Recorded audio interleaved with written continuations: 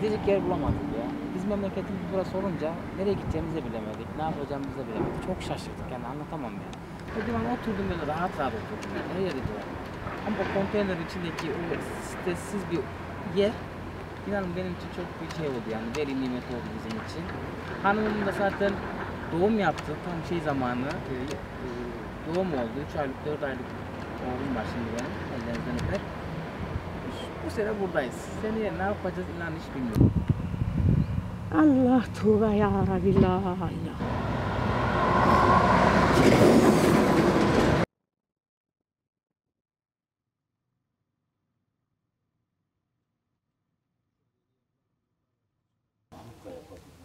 Yani bunun gibi.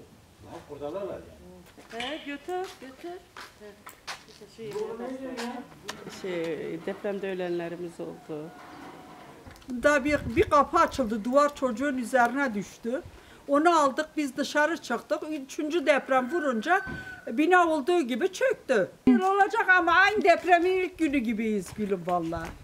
Aynı ilk günü gibi.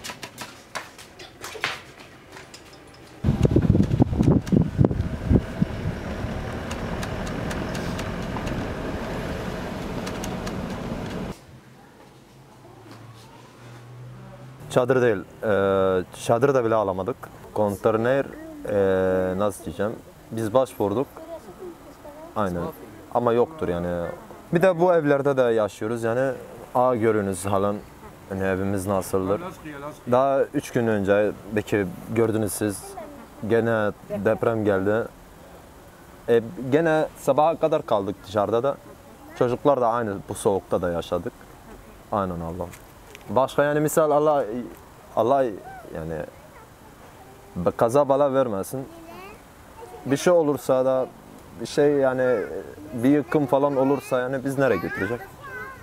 Bu halde misal. Ha, ya dışarıda yaş- yaşayacağız ya başka yani söylemesi ayıp ama söyleyeceğiz yani. Yani biz bazen aylar nasıl ödüyoruz öyle öyle ödüyoruz yani. Bazen olmuyor misal al ödüyoruz ev sahibine. Misal ev- ev sahibiler eyvallah. Misal bazen bir ay sabrediyor, bir hafta sabrediyor. Ondan sonra beklemezler. Başka kiracı getirirler, koyarlar. Bizim eşyamız oldu mu olmadan hepsini dışarıya atarlar. Geri kiracı verecek. Yani 10 sa 11 10 13. seneye girdik şu anda savaşta Suriye'de.